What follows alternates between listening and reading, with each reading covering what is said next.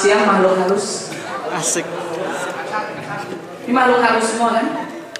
Kalau bagi saya anda adalah makhluk halus. Karena saya tidak bisa melihat anda. Dan saya uh, akan di sini mengucapkan hanya selamat. Karena saya takut mengatakan siang ini bukan siang. Saya khawatir di sini malam karena saya tidak merasakan matahari di sini. Ya uh, apa terima kasih Mbak MC dan teman-teman apa kabar? Masih sehat semua? Masih hidup? Alhamdulillah. Eh, masih bisa melihat? Mau tukeran sama saya? Enggak. mau nggak tukeran? Sekali-sekali lah tukeran situ nggak ngeliat saya melihat. Boleh nggak kalau saya sih secara pribadi nggak mau tukeran. Saya lebih suka tidak melihat kalau jadi melihat tuh kayaknya kurang enak gitu. Kalau saya sih semua teman-teman yang tunanetra di sini jadi melihat semua juga. Saya nggak apa-apa saya nggak apa-apa tunanetra sendiri. Sumbangannya banyak kan kan jadi nggak ada saingan gitu kan kalau kalau ada nyari sumbangan saya kadang ngemis gitu. Jangan dibuka ya profesi saya. Jadi saya nggak ada saingan gitu. Nggak ini bercanda saja eh jadi tunanetra itu nikmat mas. Belum tahu sih nikmatnya. Cobain deh. Mau nyobain jadi tunanetra salah satu contoh saja. Kalau mas hanya melihat cewek cantik mungkin memegangnya susah.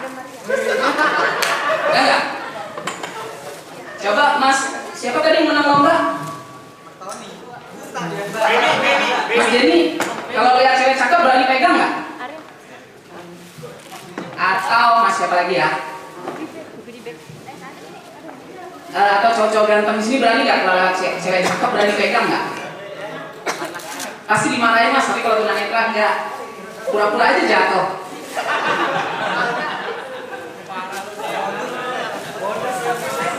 atau pura-pura aja nabrak tapi tradisi mulai ditiru loh mas jadi eh, ada teman-teman kalau lihat cewek cakep pura-pura nabrak gitu jadi biar biar dibantuin gitu ceritanya kadang-kadang teman-teman netra juga memanfaatkan ini juga jadi makanya jadi teman netra enak gitu. ya rasa nggak kalau orang cakep itu getarannya beda. Situ kalau naik bapak tahu mobil pesawat eh, mobil itu bagus apa enggak kan terasa ya. Kalau empuk itu cakep. Kalau mulus atau jalannya lancar nah itu Sama kita Pak, bisa merasakan kalau getarannya halus. Kalau ibarat gelombang radio itu kalau nggak kresek-kresek cakep tuh Pak. kalau ketemu cewek kita ketemu eh, sinyalnya kresek-kresek nih biasa kurang cakep. Sinyal. Jadi eh, tapi tunanetra itu kadang-kadang ada kekurangannya pak. Suka bertanya. Apa aja ditanya. Bahkan teman saya pernah kejadian yang listrik ditanya pak. Karena saking saking hobinya bertanya, jadi dia ingin naik mobil, eh, dipikirnya di sebelah ada orang karena ada terasa menutup gitu kan bayangan. Terus dia tanya, Mas Mas, maaf kalau mau naik mobil ini eh, nomor jurusan ini nomor berapa ya? Karena kalau ditanya diem aja. Ditanya lagi kok dia jadi pegang tiang listrik.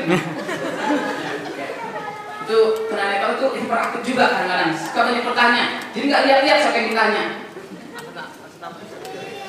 Eh, ya memang eh, kita saya juga hanya tukar cerita saja. Pernah juga karena saking hiperaktifnya eh, hobinya bertanya, pernah juga saya teman saya waktu itu datang ke kampung dia lagi jalan, dia mau ke tempat temannya, eh, dia pikir ada kresek-kresek, ada suara apa gitu dia tanya, Pak rumahnya Dimas di mana ya? Gak ada suara dideketin, Pak rumahnya Dimas di mana yang nyaut? Mau ternyata yang ditanya adalah seekor sapi.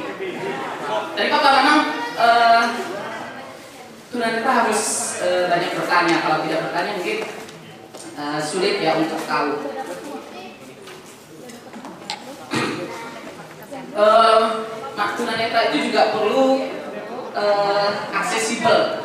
Memang salah satu di itu yang kita tuntut biasanya penyandang disabilitas itu adalah aksesibel. Kalau bagi tunanetra itu sering merasakan keaksesibelan bahkan ke berbagai bidang termasuk bidang lagu seni. Banyak itu lagu-lagu yang tidak aksesibel. Biasanya kulihat di wajahmu itu tidak akses bagi kita.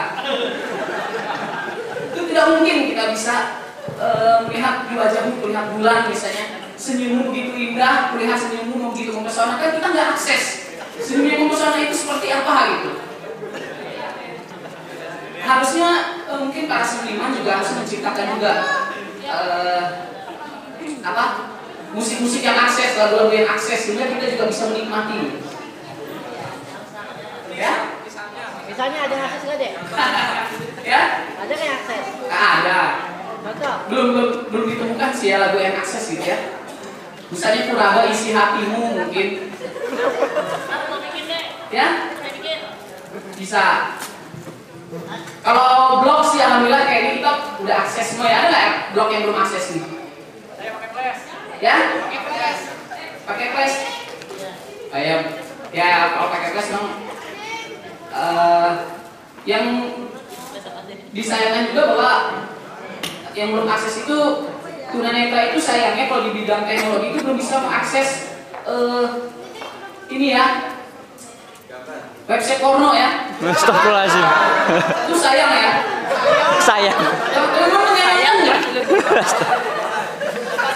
padahal kan kalau padahal kan kalau bicara nafsu itu kan nggak pandang tunanetra atau enggak? Gitu ya nggak? saya nggak yang tepuk tangan. Saya tidak butuh tepuk tangan. Saya butuh tepuk anda eh, tepuk tangan sudah sering saya dapat dan nggak ada rasanya kalau saya tepuk tangan itu tidak akses karena tidak bisa dirasakan hanya didengar ya harusnya juga perlu dipikirkan ya mungkin website-website yang Oke, maaf nih ya, kita bisa selain melihat gambar telanjang itu kita sulit mendeskripsikannya. Padahal kan kita bilang bahwa masalah nafsu itu tidak pandang tadi ya, tidak pandang tunanetra tidak itu saya pikir sama saya pikir. Tapi ya ini hanya bercanda jangan nanti saya ditangkap gini lagi. Apa? Dewan apa namanya? Kode kominfo. disensor ya nanti di, di blog.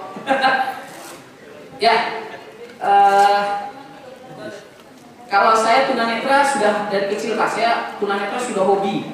Udah Saya tunanetra hobi dari kecil. Hobi apa nih? Hobi saya tunanetra itu dari kecil. Makanya saya nggak ada lagi cita-cita ingin melihat itu tidak ada lagi. Ya enak lagi. Kalau tunanetra misalnya eh, nabrak misalnya nabrak orang pasti orang ditanya matamu ke mana? Kalau saya tinggal jawab memang nggak ada. Gampang mungkin kalau kalau sekarang matanya ke mana pasti marah. Kalau kita nggak matanya ke mana? Memang nggak ada. Kalau mau bagi dong gini. Eh, ya saya uh, tunanetra dari kecil jadi saya sudah berbakat sudah hobi.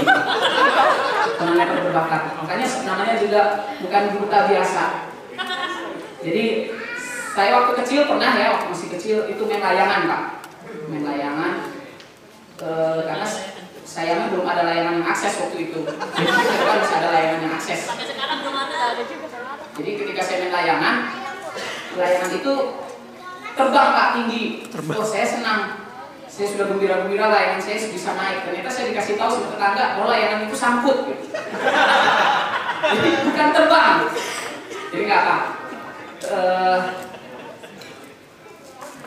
tapi saya merasa gembira gitu. Jadi kalau bagi kami itu sebetulnya eh, gagal atau apa tidak bisa itu bukan eh, menjadi suatu hambatan bagi kami. Yang penting kita sudah eh, bisa mencoba misalnya seperti kami di sini bisa diberi kesempatan untuk tampil memberikan eh, kreasi saya terima kasih sekali kami ya khususnya eh, dari teman-teman tunanetra.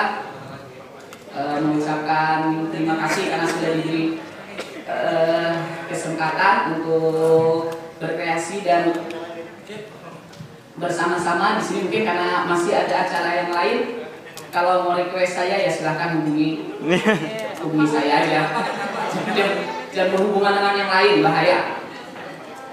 Ya mungkin eh, terima kasih eh, atas kesempatan yang eh, saya sampaikan di sini bahwa eh, saya ingin menyampaikan dari ini bahwa eh, hambatan atau kesulitan atau kekurangan yang kita miliki itu eh, akan bisa justru akan menjadi media kita untuk eh, saling berbagi dan tidak menjadikan kita eh, merasa nah mungkin itu saja. Saya sampaikan terima kasih nggak pakai selamat Tepuk tangan dong.